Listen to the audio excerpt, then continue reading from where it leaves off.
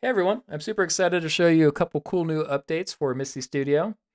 If you are a Safari user, or if you want to access local API from a remote device, such as a different computer or even a phone, uh, these updates are for all of you. And if you've paid any attention to us in the past, you know what we're really striving to do is create a frictionless solution for you all and it's not going to necessarily be that way right away with everything that we do, but that is what we're trying to constantly iterate towards. We want everything to just work for y'all just to be able to pop it open and start doing what it is that you need to do. For the Safari users that tried out Msty Studio, uh, you probably have seen a screen like this where you can't progress past it. So there's a, a bit of a, a, constraint that we're working around and we'll continue to work around because again, we want to make this even more frictionless. But there's a constraint where Safari can't tap directly into the local AI. Now you can. We have a, a pretty cool workaround with our new update to Sidecar, which is going to be available in version 0.3.0. If you don't yet have Sidecar, you could download it directly from the screen right here. Just click on the drop down and then select the download option that is right for you. And I already have it installed on my Mac. It's running in the background.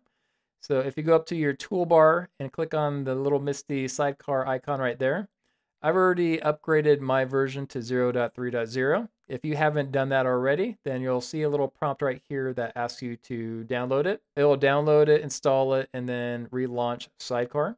And once that has completed updating and is now showing 0.3.0, notice the Enable Tunneling with Local AI Experimental. This is a fresh off the press experimental features. So just keep that in mind when using it. But what we'll do is go ahead and click on that. And we're going to give it a couple seconds here to start running and then click on the icon again. And then you should see the option to disable tunneling, which is great. That means the tunneling is currently working. And what we want to do is click on copy tunnel connection info. And that's essentially going to just copy a URL to your clipboard which we'll use here. So let's start first with Safari. We're essentially going to do the same exact steps for both Safari on my Mac here as well as on my iPhone over here for a remote connection. But starting again with Safari, let's click on Add Provider. And then in the Models Provider drop-down, you'll just want to scroll down and click on Msty Sidecar Local AI Proxy. And then paste in that link in this area here. And then click on Add Provider.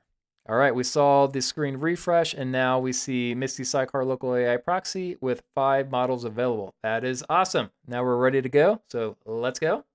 And look at that. We can now use Msty Studio using Safari. Let's go ahead and ask it a question. And check that out. The Earth is indeed a sphere. And now for the remote connection. And I'm just mirroring my iPhone right here, but this could be any other device. It could be an Android phone. It could be another computer in another room that I have. It could even be and my neighbor's computer across the street. But essentially, it's, it's all the same setup. We'll click on Add Provider. And then under Models Provider, scroll down, click on Msty Sidecar Local AI Proxy, and then paste in that same URL that we copied earlier, and then click on Add Provider. And there we go. We've tunneled into the remote where we again see Msty Sidecar Local AI Proxy with five models available. So let's click on Let's Go.